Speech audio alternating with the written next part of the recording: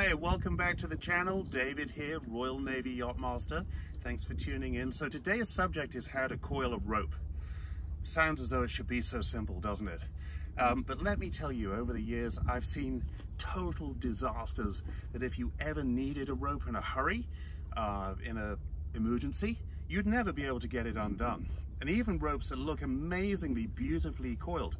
I went in the rope locker on a racing sailboat that I crew on super hot boat, hot racing sailors that know what they're doing.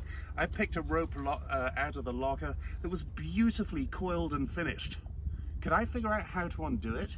No, it was a total mystery. It was some rock climbing technique that I've never seen before.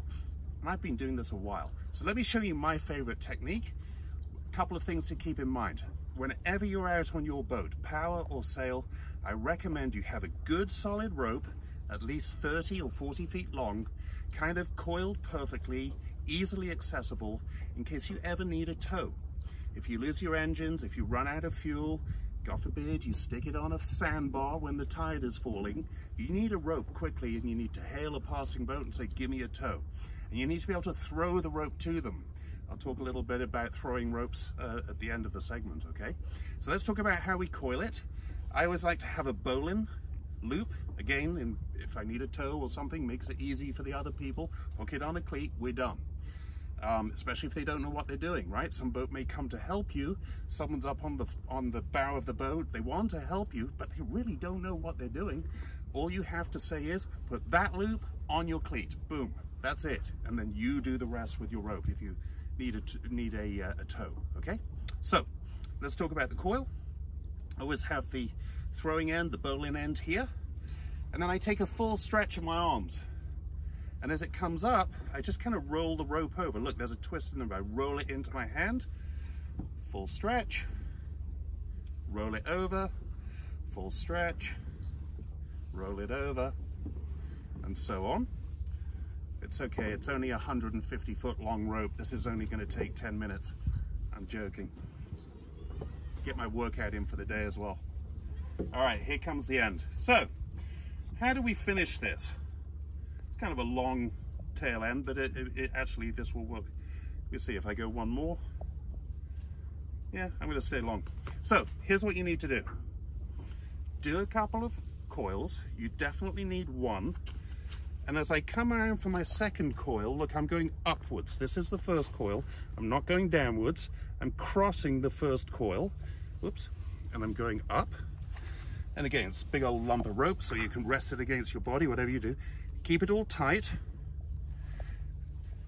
That's two. And I always say, three looks pretty.